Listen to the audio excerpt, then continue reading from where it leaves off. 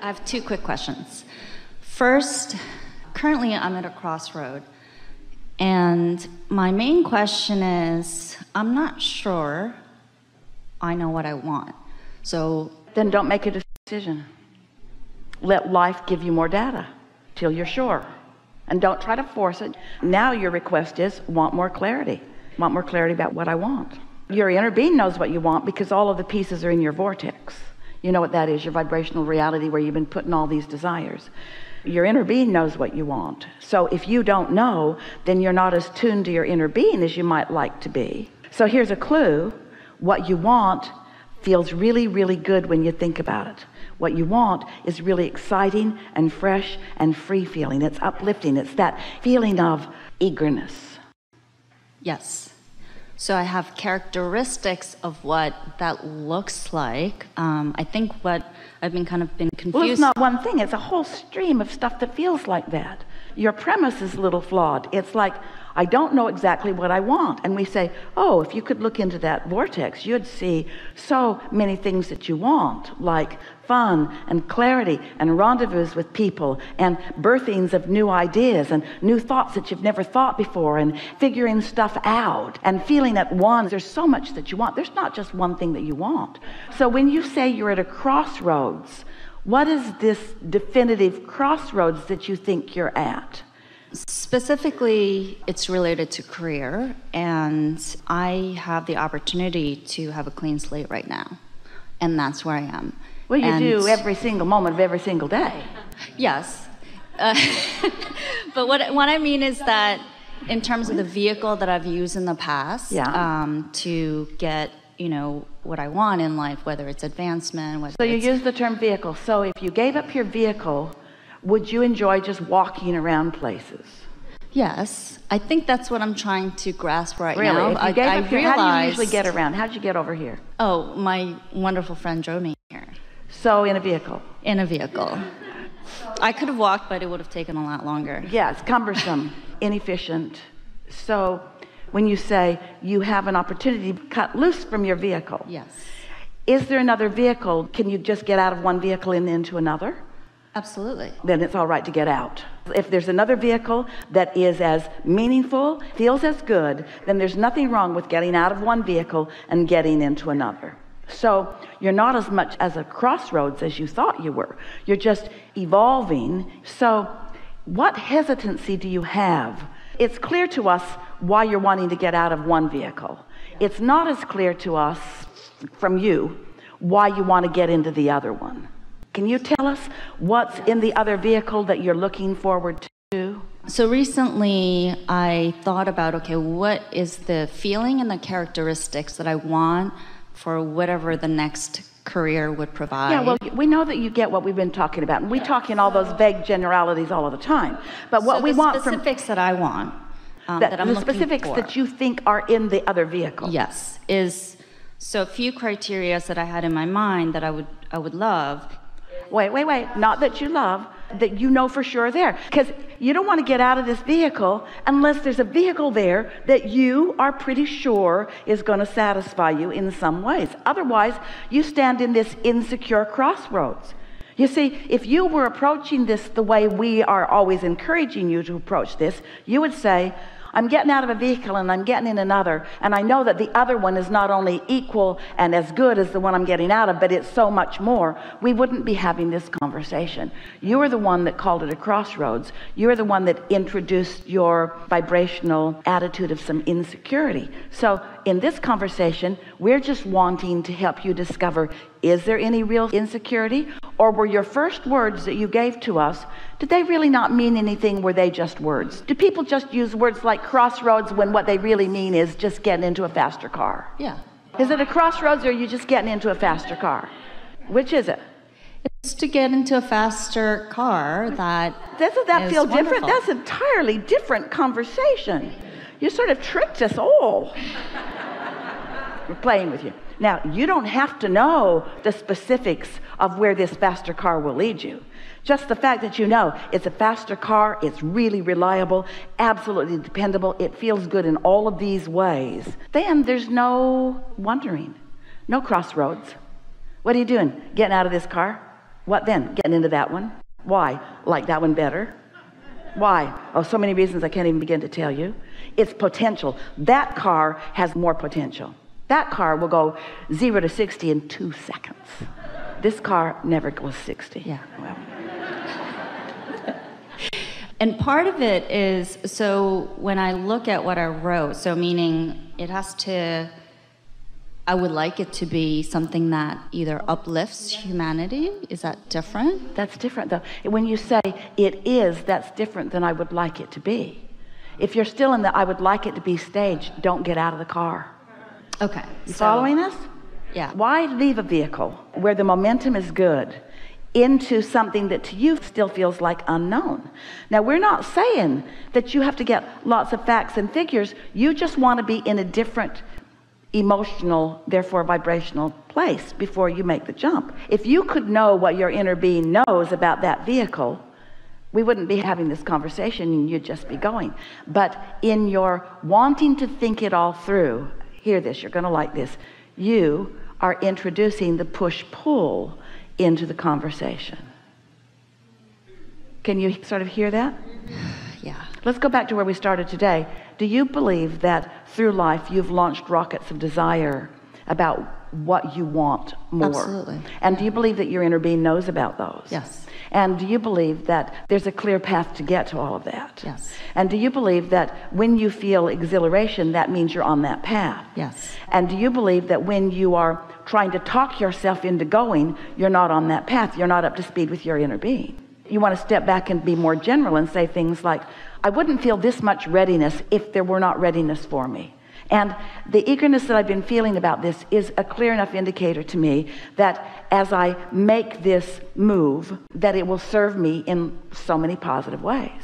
This is exactly what this conversation is all about. This statement is going to help you the most.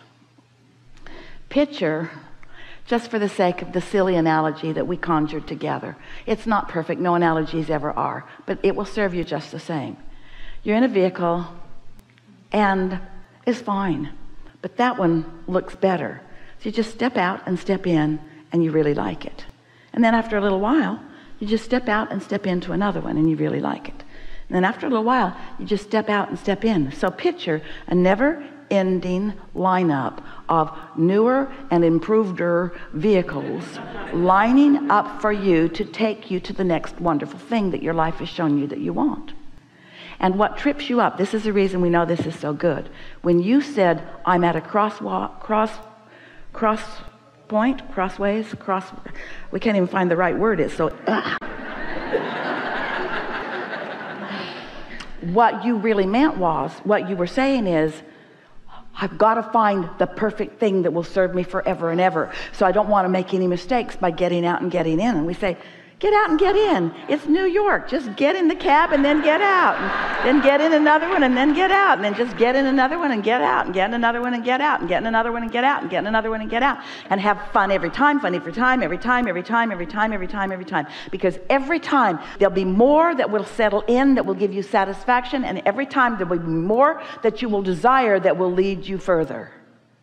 Thank you. Yeah. And that's always been, when I look back at how things have been showing up in my um, in my yeah. life, and it's been wonderful. Yeah. And yet, still, it always turns out good, yeah. and yet you all still worry. Ah, I'm at a crossroads. Ah. Oh, stop making a big deal out of it. Everybody's at a crossroads, and you're at a crossroads all the time. And you're not at a new crossroads, you're just at another crossroads. So I think I think part of uh, the pull and push lately has been, you know, when I think about okay, what brings, uh, what gives me the highest excitement right now, has been lately more like I, I, I, can't read enough or uh, you know get enough sleep or like that brings me a lot of joy right now. And of course, like that part of me where it's like, but you, you gotta, you gotta, you know, get going. Let's go, let's go. Feel that in but, a little more. Tell us with a little more detail what you mean. I recognized that I was pushing too hard.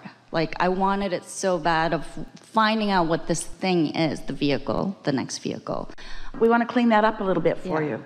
What you just said is, I, from my human standpoint, was trying to figure out where, when, who, how. When my inner being had already figured it out. So all I needed to vibe out is, does this feel like fresh air or stale air? Does this feel like fun or struggle? Does this feel like ease or effort? Does this feel like flowing or stagnation? Does this feel like clarity or confusion? We are really appreciating this conversation because so many people are approaching life this way. Most of you think that you have to have all the details figured out before you're ready to begin moving in a direction.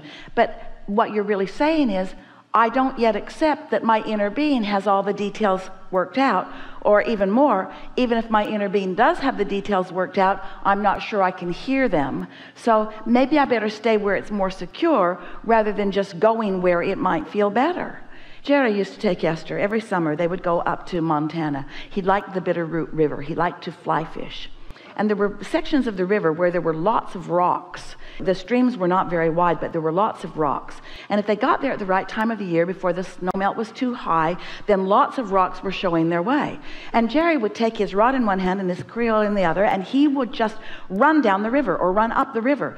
And there was always a rock there for him to step on. And Esther used to watch him from the boat and wonder, how in the world does he dare just run knowing that there will always be a rock? But there was always a rock for him. Sometimes he had to leap a little further. Sometimes he had to leap further than Esther thought was humanly possible, but he would do it.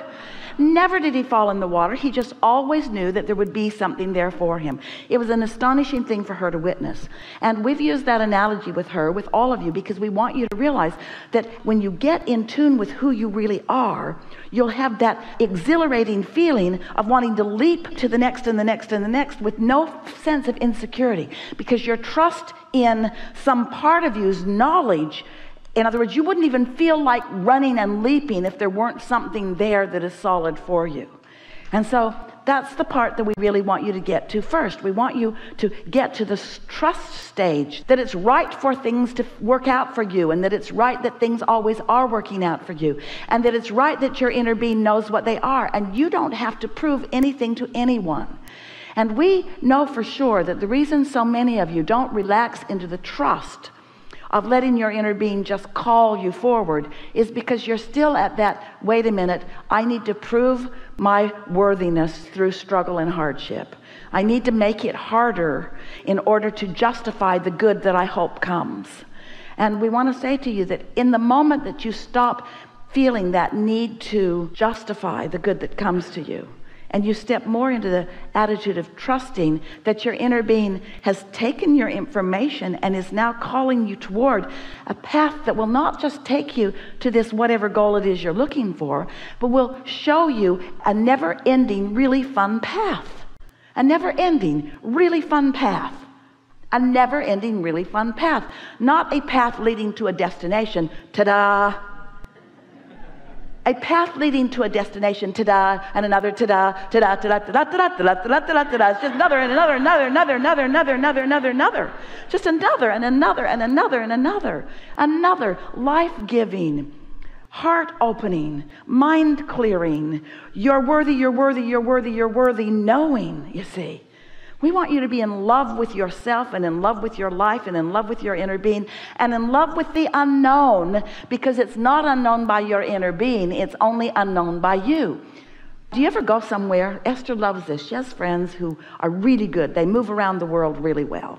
They get cars easily, they get Ubers easily, they can find the best restaurants easily. It's really good just to follow them where they go.